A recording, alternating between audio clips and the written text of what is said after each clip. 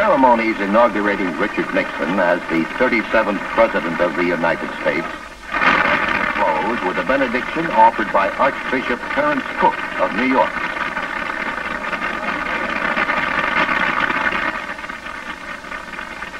Oh, Heavenly Father, we thank you on this historic day for all the blessings that you have bestowed upon our country from its very beginning up to the present moment.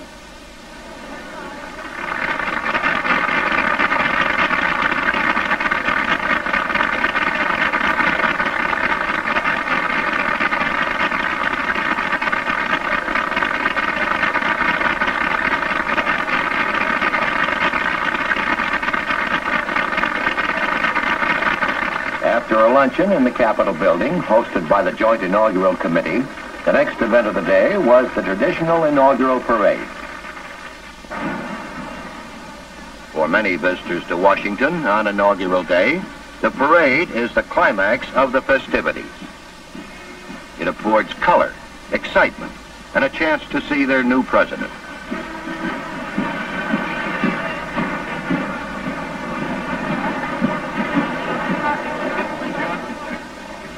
As the presidential escort and honor guard makes the ceremonial journey down Pennsylvania Avenue to the White House, a spectacular parade follows.